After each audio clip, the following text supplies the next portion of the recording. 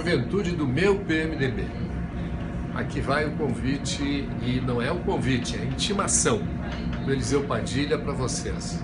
Vocês são absolutamente indispensáveis para o brilho das nossas duas convenções, da convenção de vocês, no dia 11, e para a convenção do partido, nacionalmente, no dia 12.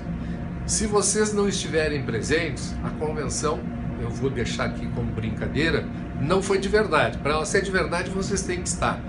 Tem que estar a vibração, o calor, o entusiasmo e a esperança que vocês representam de que nós venhamos ter, sim, o PMDB confirmado o maior partido do Brasil agora, em 2016, e aquilo que é o mais importante, o PMDB na presidência da República em 2018.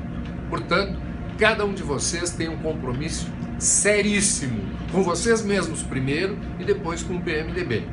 Dia 11 de março, aqui em Brasília, a convenção da juventude do PMDB, na qual eu estarei, e também no dia 12, a convenção nacional do PMDB, onde vocês são absolutamente indispensáveis. Eu desde já agradeço e, como vocês sabem, permaneço à disposição de vocês. Obrigado.